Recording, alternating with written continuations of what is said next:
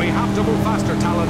We'll never get to the bridge in time to save Jasmine. Master Ranger, Talon thinks Smith Thunderbolt get us there faster. Yes, it would, old friend.